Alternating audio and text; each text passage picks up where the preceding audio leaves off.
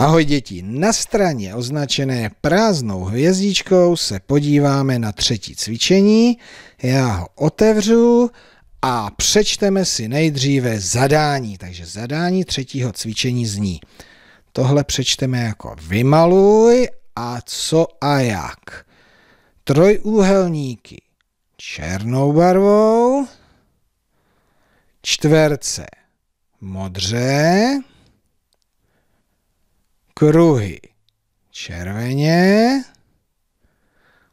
obdelníky zeleně. Tak já se do toho pustím.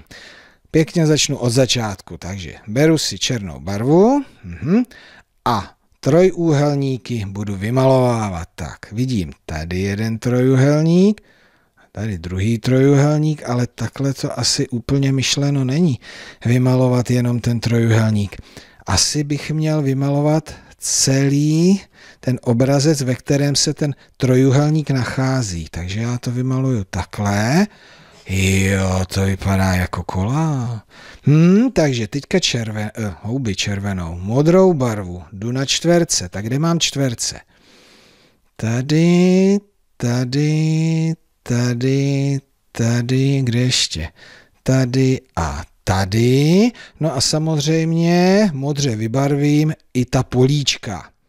Tady a tady, tady, tady, tady a tady. Aha. Tak, přecházím na červenou barvu, protože červené budou kruhy. Takže tady je kruh, tady je kruh, tady je kruh a tady je kruh. No a ta políčka samozřejmě také. No a mám tady krásné auto, takovýho brouka. A teďka zeleně jsou ty obdelníky, takže nejenom ty obdelníky, ale i ta celá políčka. Tak, mě to šlo rychle. Bezvadný, tak první obrázek mám hotový. Kdo jste v učebnici, tak si to udělejte teďka sami a přidejte to tu druhou část cvičení tady také vymalujete tímto způsobem geometrické tvary. No a kdo nemáte učebnici, tak zkuste si vzít čistý papír, namalovat z geometrických tvarů nějaký obrázek a nebo obrázek nechte prázdný, namalujte si do toho geometrické tvary a každý geometrický tvar, to políčko, vymalujte stejnou barvou. Tak, ale kdo to uč- do učebnici máte, přerušte video a vymalujte obrázek a přidejte i ten druhý, protože za chvíli se sejdeme ke společnému porovnání řešení.